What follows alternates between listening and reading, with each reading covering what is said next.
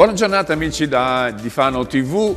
Oggi è il 9 febbraio eh, 2023, siamo giovedì nel mezzo della settimana, il tempo continua a essere perturbato, fa freddo ma ancora non piove e soprattutto nella nostra provincia ancora non nevica, anche se qualche spruzzatina comincia a vedersi nelle alture degli Appennini, degli pre-Appennini. Dunque la nostra rassegna stampa di oggi ha un ospite, ha un ospite e ve lo presento subito, è Etienne Lucarelli, assessore al turismo e alle attività produttive del comune di Fano. Buongiorno assessore, ben svegliato e ben trovato per commentare le notizie che oggi pubblicano i giornali, il resto del Carlino e il Corriere Adriatico con cronaca locale. Però noi passiamo sempre attraverso l'almanacco del giorno e vediamo che oggi si festeggia Santa Pollonia. Chi era Santa Polonia?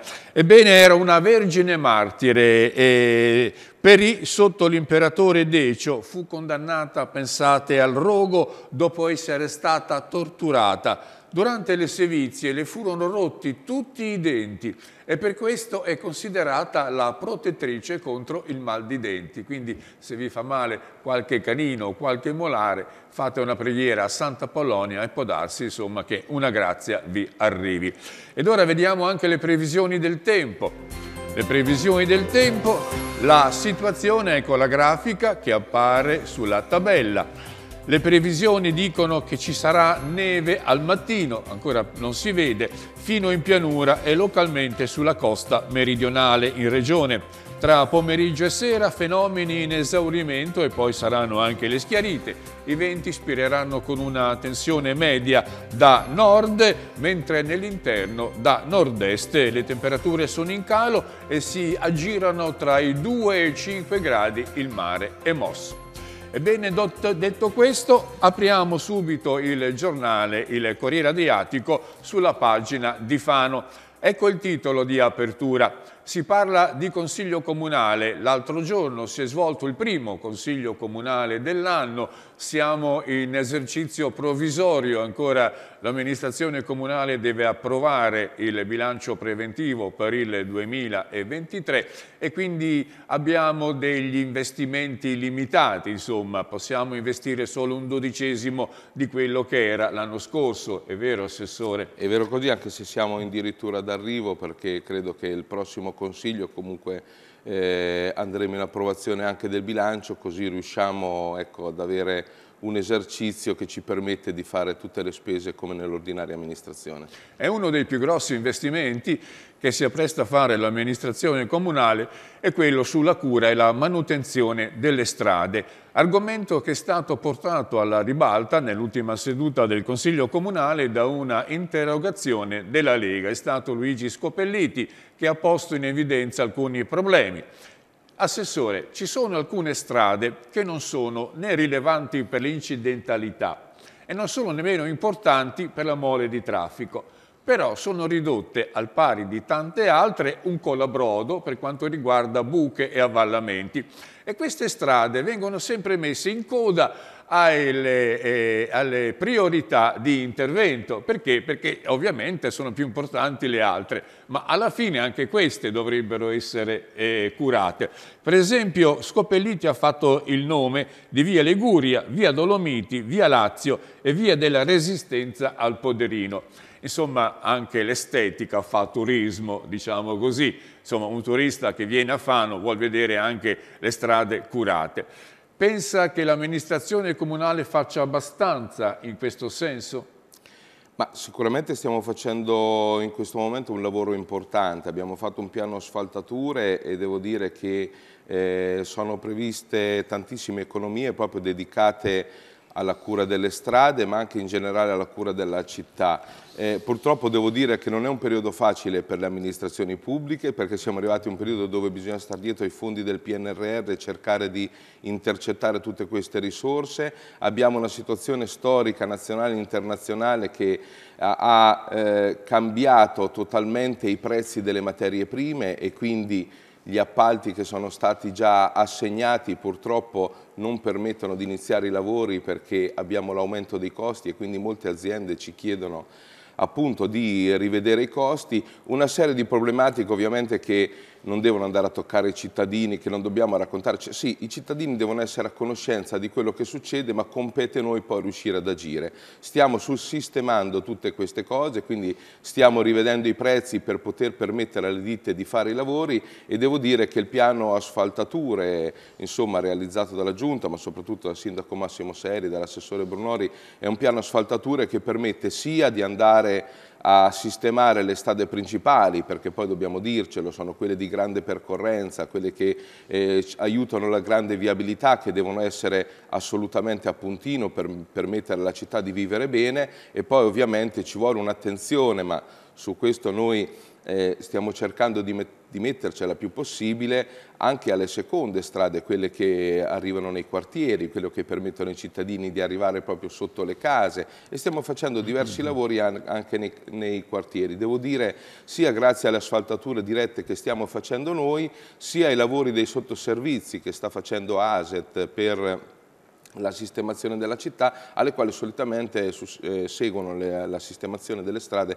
e quindi le asfaltature. Quindi devo dire che il piano asfaltature di questo anno è veramente molto cospicuo ed avendo sistemato tutte le cose arriveremo veramente in eh, tantissime strade. Adesso è inverno, insomma le asfaltature sono sospese per questioni climatiche eh, poi a marzo si dovrebbero riprendere i lavori e c'è anche tutto un blocco a Sant'Orso che deve essere asfaltato, eh, via Galileo Galilei, via Bellandra, via Fossa Sant'Orso, insomma sono strade che meritano soprattutto una cura più assidua perché sono ridotte veramente molto molto male. Un altro argomento che ha tenuto banco nell'ultima seduta del Consiglio Comunale è stato quello della tratta ferroviaria eh, pista ciclabile Metaurense, un ordine del giorno firmato da, uh, dalla Giacomoni, che è la capogruppo del Partito Democratico, e dal consigliere Fumante. Un eh, ordine del giorno che ha ottenuto solo i voti della maggioranza, dobbiamo dire, l'opposizione si è espressa in maniera contraria. Che cosa dice questo ordine del giorno?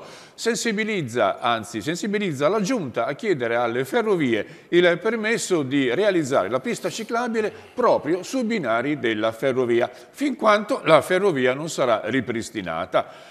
Assessore, qual è la sua posizione? So che la sua posizione è un po' diversa, mi sembra, però... No, no, io eh, no. Eh, no, no, su questo non ho nessun problema, anzi ad accogliere quello che ha detto la Giacomoni. Noi abbiamo un tema che pensiamo di poter eh, riportare la ferrovia in un punto dove eh, insomma, sappiamo che è stata dismessa per un problema di mancata funzionalità della ferrovia stessa. Negli ultimi tempi che la ferrovia era in funzione addirittura facevamo un biglietto, ma per un problema proprio di, di tratta, di come è composta la ferrovia, della sua utilità. E quindi noi crediamo proprio che lì un, un progetto innovativo che possa guardare anche magari ad un trasporto leggero con a fianco la ferrovia, con a fianco la ciclabile, oppure la possibilità, come dice la Giacomoni, di realizzare una ciclabile che ci porti a, attraverso i vari quartieri della città e quindi finalmente a far diventare la nostra città anche più sostenibile dal punto di vista viario, è sicuramente un sogno che questa amministrazione ha pensiamo che avere una ciclovia vera eh, e quindi creare una ciclovia adriatica con le varie ciclovie a pennello che ci portano verso gli Appennini può essere un progetto che guarda tutta la regione Marche e che può portare tanti turisti. Ecco perché dobbiamo pensare anche nella nostra zona, come avviene nelle altre province, ad un progetto vero di ciclovia verso l'interno.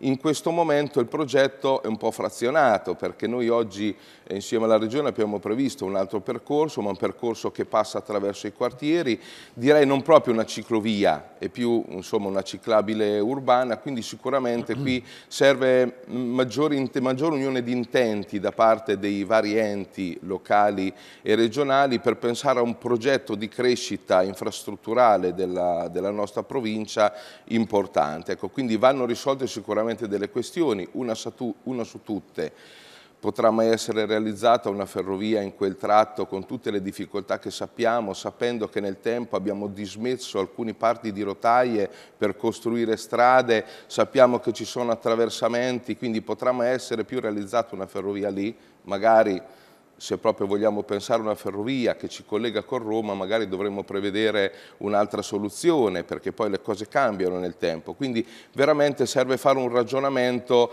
eh, molto strutturato. Devo dire che oggi pensare ad una eh, ciclovia che ci porti verso l'interno, visto come sta cambiando eh, come si sta strutturando il turismo, come si stanno strutturando le città dal punto di vista della viabilità sostenibile, è un progetto molto valido e interessante. C'è anche una dichiarazione del sindaco pubblicata su questo articolo di spalla del Corriere Adriatico, eh, il sindaco Massimo Seri che in Consiglio Comunale ha detto la riattivazione, avrebbe, la riattivazione della tratta ferroviaria avrebbe costi elevatissimi, non risulterebbe economica e comunque quella linea resterebbe scomoda per gli utenti. Questa è un po' la posizione appunto del sindaco. Per Seri che però ha anche difeso la scelta di condividere il nuovo tracciato della ciclovia del Metauro, non si buttano via 4 milioni, ha dichiarato il sindaco, perché insomma sono soldi che arrivano dalla regione, giudicando questa iniziativa dei democrati complementare al riuso, eh, al riuso del sedime eh, ferroviario. Insomma,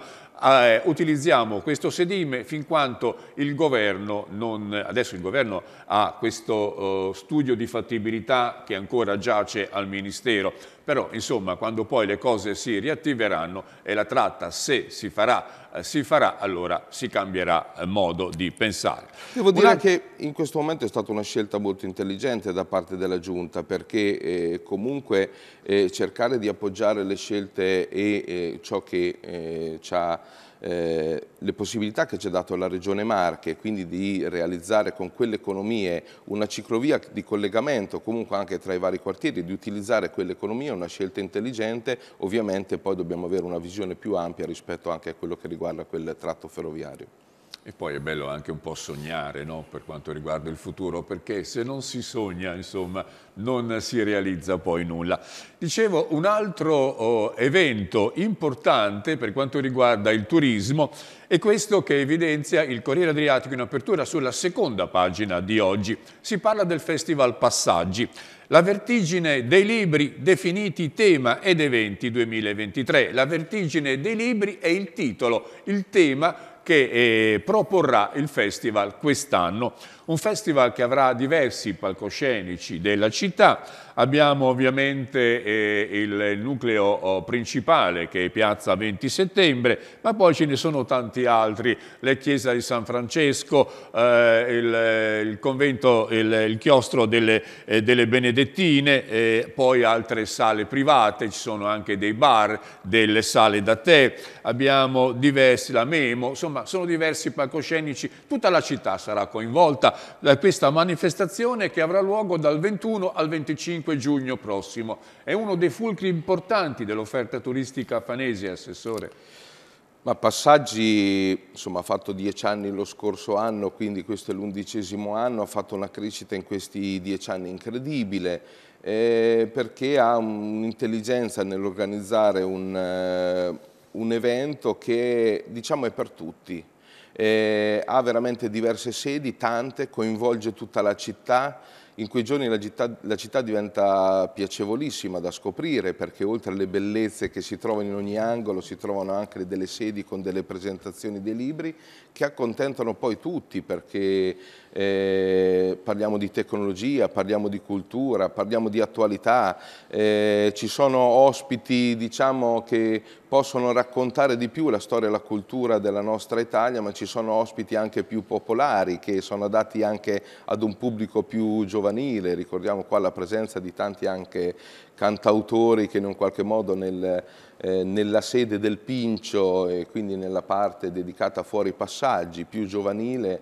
eh, hanno saputo accogliere un grande pubblico. E devo dire che eh, le persone stanno dando una grande risposta a questo format che si sta delineando un format forte per la città di Fano. E quindi credo che su questa manifestazione dobbiamo unirci insieme, anche l'anno scorso c'è stato un supporto importante della Regione e credo che insomma, anche quest'anno stiamo dialogando con la Regione per avere lo stesso supporto, noi come amministrazione comunale in, anche dal punto di vista del sostegno sia economico sia organizzativo perché comunque dislocare... Ma c'è stato un momento in cui, eh, stato, non dico una minaccia, ma insomma però eh, Belfiori, che è il direttore eh, artistico di, di, questa manifestazione, voleva trasferirla a Pesaro perché insomma Fano non trovava proprio la location adatta dal punto di vista, non dico di, di, di, di, palcoscenico, ma di, organizzazione.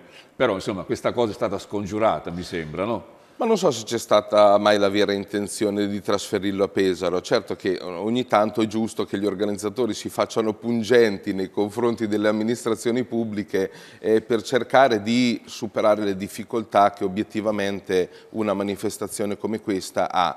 Insomma, con Poi Giovanni... la forza e il grande volontariato che la sorregge con Giovanni e con l'organizzazione ci sentiamo costantemente, le difficoltà oggi per organizzare delle manifestazioni in generale sono enormi, che guardano alla sicurezza, che guardano alla possibilità di vivere in tutta tranquillità una manifestazione. Devo dire che si sta facendo un grande lavoro, in questo caso grazie al coinvolgimento del volontariato. Se dovessimo pensare a una manifestazione così, strutturata tutta da aziende professionali, eh, probabilmente i costi triplicherebbero, non ci sarebbe la possibilità di fare manifestazioni, ma questa è un po' la caratteristica della città di Fano, è la vera forza della città di Fano, il fatto che si fa più comunità e quindi tende a lavorare insieme su tanti vari progetti e tende a fare cose bellissime eh, con la forza delle persone che sono un valore enorme che non traduciamo in economia ma traduciamo in forza della città eh, data dalle persone.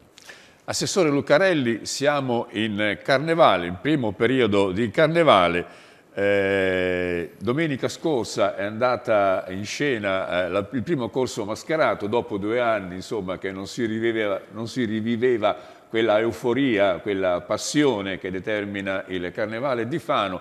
Bene, la prima hanno scritto i giornali e, ed ora aspettiamo una seconda sfilata sperando nel bel tempo.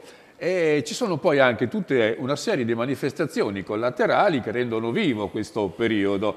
Che giudizio ha della sfilata di domenica scorsa? È stata una sfilata, beh, non mi arrischio a, un, a chiederle un commento sulla qualità dei carri, perché ci sono dei commenti controversi. Eh, quello, che, quello, che, li riassume è questo. Eh, I maestri carristi Fanesi sono veramente dei grandi artisti, ma se avessero avuto qualche soldino in più, forse avrebbero fatto delle opere più maestose, non dico di maggiore qualità, perché quelle che hanno fatto erano di grande qualità, solo che rispetto ai carri di una volta sembravano un pochino vuoti, e quindi questo dimostra come le risorse finanziarie per realizzare dei carri veramente belli, confrontarli con Viareggio è impossibile a questo momento, eh, avrebbero fatto delle cose ancora maggiori. Cosa ne pensa? Allora, ho un'esperienza ormai decennale negli eventi e riesco, riuscirei ad entrare in tutte le bellezze e criticità di una manifestazione come questa. Eh, e quindi ci sarebbe un po' da parlarne di tutta la mattinata. Io oggi è un po' quello che ho dichiarato, pensare che dopo due anni di stop, con una macchina così imponente, importante, eh, con tante persone che vi lavorano, che devono realizzare carri, che devono movimentare carri, che devono fare spettacoli intorno ai carri, che devono gestire una completa manifestazione, tutto eh, tutte le persone che si occupano di sicurezza e oggi quando si parla di sicurezza non è facile, se pensate che l'ultima settimana è stata passata tra le prefetture e questure per comitati di ordine e sicurezza pubblica, ancora oggi abbiamo una riunione, quindi considerando tutto questo devo dire che è stata una bellissima domenica perché è andato tutto liscio, siamo riusciti a ritornare a sognare quello che è il Carnevale di Fano con Viale Gramsci piena, quindi io oggi mi sento soltanto di fare dei complimenti a tutte le persone che ci sono dedicate perché so lo sforzo che si fa. Poi se dobbiamo guardare l'altra faccia della medaglia sappiamo che oggi il Carnevale ha delle criticità e quelle criticità sta anche a noi come amministrazione, anche a me personalmente insieme agli altri colleghi di giunta, eh, correggerle, delle criticità ci sono e sono nella struttura del, dell'organizzazione del Carnevale che purtroppo non è più consona alle aspettative, quindi non alle persone che la partecipano, proprio alla struttura come composta perché un'associazione culturale non può più gestire una macchina di, così, da, complessa. Da, così, complessa. Ci vuole una struttura, adesso ci stiamo ragionando anche in amministrazione insieme all'ente carnevalesca quale può essere la struttura idonea e poi sicuramente il nostro carnevale ha due specificità più importanti, a parte il contorno, a parte tutti gli eventi collaterali che poi sono importanti per far vivere la città, per portare le persone i giorni prima perché devono dormire qua per fare in modo che il carnevale porti economie sulla città, quindi serve tutto, però le principali caratteristiche sono i carri allegorici ed il getto. Queste sono le caratteristiche che noi dobbiamo raccontare in tutto il mondo per portare le persone a vivere il Carnevale di Fano e su questo dobbiamo lavorare per migliorare organizzazione, carri allegorici e getto. Ma devo dire, questo ci sarà tempo, Oggi dobbiamo dare la possibilità alle persone che ci stanno lavorando di lavorarci bene, di impegnarsi come stanno facendo, devo dire, quindi, eh, e quindi viva il Carnevale, vivremo appieno anche le prossime due domeniche. Il Carnevale poi è una manifestazione che deve, eh, che deve avere degli effetti economici sull'economia della città e quindi vediamo come le manifestazioni collaterali fatte prima della domenica possono attirare turisti e quindi incentivare le presenze negli alberghi, questo esatto. un po' è anche il compito dell'amministrazione. Ed ora parliamo del CODMA, parliamo del CODMA perché vediamo che ieri l'assessore alle infrastrutture e ai lavori pubblici della regione Marche, Francesco eh, Baldelli, ha presentato l'inizio dei lavori per la ristrutturazione della palazzina centrale del CODMA, quella che la Regione ha dato in uso a diverse associazioni di Fano e del comprensorio. E, ehm, dopo l'asfaltatura di tutto il piazzale, qui si rifarà il tetto, si, si rifaranno le rifiniture, ci saranno eh, la ritinteggiatura di tutto, si farà la pavimentazione, insomma un intervento di 1.350.000 euro della Regione. E il CODMA, Assessore, eh, acquista sempre più un rilievo multifunzionale, può essere adatta a moltissime funzioni, è stato il centro vaccinazioni, è stato un mercato, è stato un centro espositivo, mostre.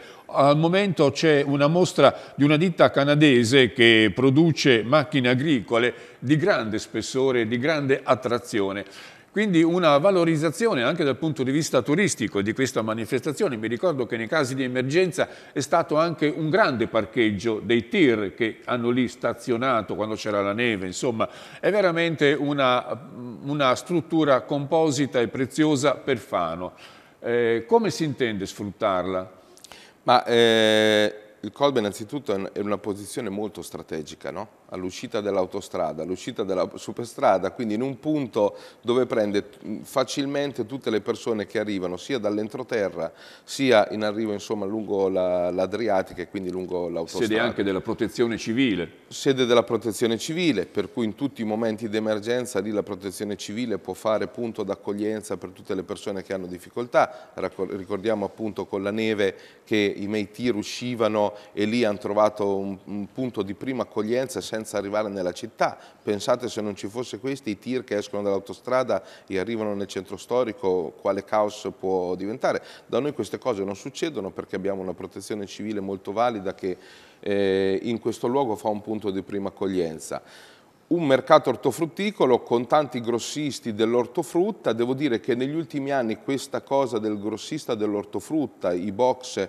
sono a loro dedicati, si stanno riducendo sensibilmente, quindi ci sono ancora diversi grossisti ma su diversi box disponibili ne occupano soltanto sei ed è un'area che sta diventando molto adatta alle fiere, alle attività fieristiche, alla valorizzazione dei prodotti tipici, soprattutto dopo che è stata chiusa Campanara, perché tutte le attività che erano a Pesaro ci stanno chiedendo spazio per potersi rappresentare e vengono a Fano a chiedere lo spazio. Quindi ultimamente, adesso nell'ultimo anno dopo il Covid non è stato fatto più Fanogeo, ma prima si faceva la manifestazione riguardante l'agricoltura, c'è la, la, mostra scambio delle auto e delle, auto, delle moto d'epoca, sapore e aromi d'autunno, eh, sempre all'interno adesso abbiamo abbiamo cominciato con la mostra eh, nazionale ed internazionale canina con Enci, eh, e tutta una serie di attività che guardano delle rappresentazioni, sia che guarda il nostro cibo e la nostra gastronomia, sia altre rappresentazioni.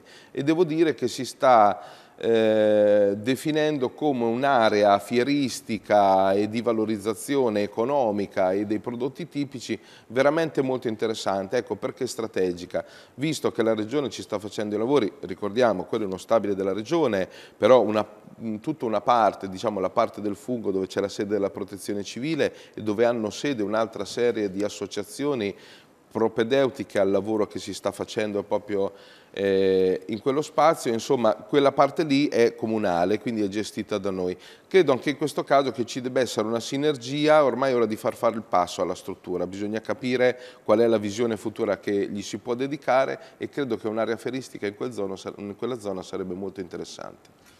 Vediamo anche l'apertura del resto del Carlino oggi. Si parla di una uh, difficoltà burocratica. Il rinnovo del passaporto è un'impresa anche a Fano. L'appuntamento, ebbene, chi vuole rinnovare il passaporto eh, deve chiedere l'appuntamento al commissariato di Fano e guardate la sorpresa. L'appuntamento, il primo posto utile è il 20 dicembre 2023 alle ore 12 questo è un esperimento che ha fatto giornalista, la giornalista anzi del Resto del Carlino, Tiziana Petrelli, che ieri ha provato a chiedere un appuntamento appunto per il rinnovo del documento. Ci vuole un anno per organizzare un viaggio e la procedura è molto macchinosa. Le agenzie soffrono e dicono ci sono molti disagi a questo riguardo. Eh, assessore, lei si occupa dei turisti che vengono a Fano, ma ci sono anche i, i, fanesi che fanno turismo fuori Fano. Anche questo è un problema insomma, che caratterizza la nostra città, ma soprattutto è un problema di ordine pubblico, perché l'organico del commissariato soffre e lo vediamo eh, soprattutto per i controlli che si fanno in città, controlli che devono rendere Fano sempre più sicura, perché la sicurezza è uno degli elementi di attrazione turistica più importanti. Ne concorda? Sì, ne concordo. Intanto è l'occasione per far fare le vacanze a Fano, insomma, anche a coloro che sono nella zona e quindi per non farli partire. No, per non parte... farli partire. no, a parte gli scherzi, ovviamente è una battuta. Eh, no, devo dire di sì, devo dire che io non posso che ringraziare le, le forze di pubblica sicurezza perché hanno organici sempre più risicati eh, ma questo in via generale a livello italiano, ma da noi, devo dire dal punto di vista della pubblica sicurezza, eh, insieme a loro facciamo sempre un lavoro molto importante, no? eh, quando ci sono situazioni anche più delicate come questa di grandi manifestazioni, si muove un'intera provincia, è lo stesso prefetto insomma, a chiamarci e eh, a mettere a disposizione tutte le forze di pubblica sicurezza per far sì che manifestazione, eh, le manifestazioni funzionino bene. Quindi un grande ringraziamento per il lavoro che fanno e la speranza che gli organici tendano a crescere, che quindi che i governi diano più possibilità a questi organici.